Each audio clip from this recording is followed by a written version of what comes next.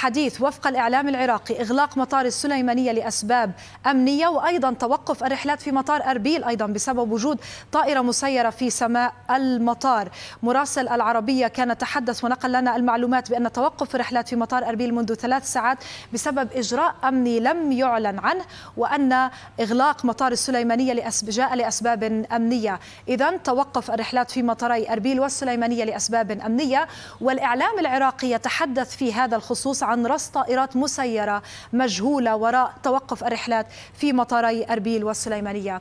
على كل حال معنا أحمد الحمداني مراسل عربية. أحمد مرحبا بك معنا لتعطينا المزيد من التفاصيل. ما الذي يجري في مطاري أربيل والسليمانية؟ المؤكد أن المطارين قد أغلقت أغلقتا بقرار طبعا من إدارة ادارات المطار إدارتي المطار وتوقفت الرحلات كان قبل أكثر من ساعتين استردنا انباء أن هناك خلل أو أو أو أو شيء أمني ما إجراء أمني ما لم توضح السلطات الطيران أو سلطات أربيل والسليمانية أي لحد الآن أي أي أي أي لم تعطي أي توضيحات.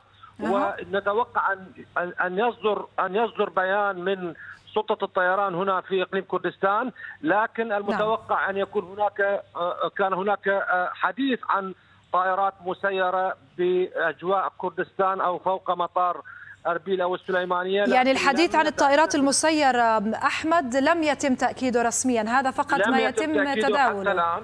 أها تماما. لكن لكن المؤكد أن هناك كان هناك تعرض لمطار السليمانية اليوم على ولكن أيضا نحتاج إلى تأكيدات.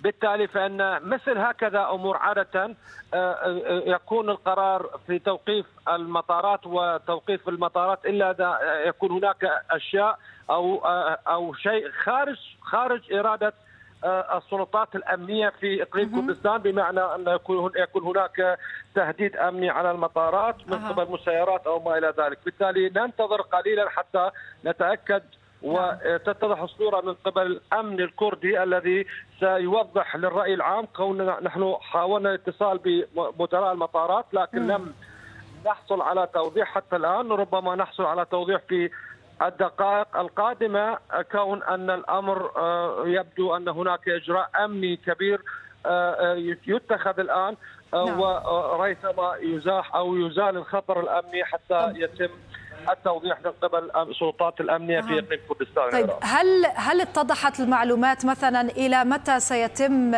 توقيف عمل المطار أو المطارين بالتحديد أربيل والسليمانية؟ هل من ساعة محددة؟ حتى الآن لم تتضح الصورة ولم يكن هناك أي توضيح، كان أه. هناك سفر بصورة طبيعية قبل أكثر من ثلاث ساعات وكنت في مطار أربيل واستقبل أحد في استقبال أحد الضيوف وبالتالي لم يكن هناك أي شيء. لكن بعدها على ما يبدو كان هناك قرار بما ان ما أن حل المساء بالتحديد ما أن حل المساء حتى كان هناك أكثر كان هناك قرارات بإيقاف الرحلات وأيضا بانتظار بيان من قبل الأمن الكردي.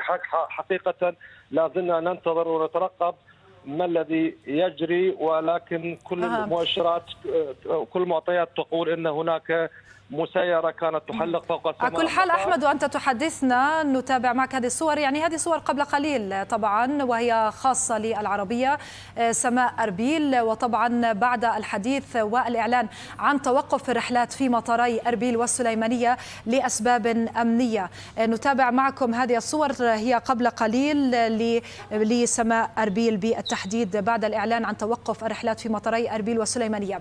الإعلام العراقي يتحدث عن رصد طائرة مسيرة مجهولة وراء توقف الرحلات في مطاري أربيل والسليمانية لكن حتى الآن لا يوجد تعليق رسمي أو خبر رسمي سواء بالتأكيد أو بالنفي حول هذا القرار المتعلق برصد طائرة مسيرة في سماء في مطاري أربيل والسليمانية. وطبعا هذه الصور لا تظهر أي مسيرات هي صور طبيعية كما نشاهد لسماء المدينة في كردستان وأيضا الأمور على ما تبدو أمور طبيعية كأي ليلة من الليالي في كردستان أو حتى في أربيل. هذه هي المشاهد التي وردتنا قبل قليل. ولكن الأنباء حتى هذه الساعة كانت تتحدث عن رصد لطائرة مسيرة في المطار إلى أن مراسل العربية أحمد الحمداني وفي هذه المداخلة وهو ما زال على الهواء معنا مباشرة يتحدث بأنه تم تأكيد وقف رحلات في مطاري أربيل والسليمانية ولا بيان رسميا حتى هذه الساعة كما قال أحمد الحمداني. إلى أن الرحلات كانت توقفت في مطاري أربيل والسليمانية لأسباب أمنية.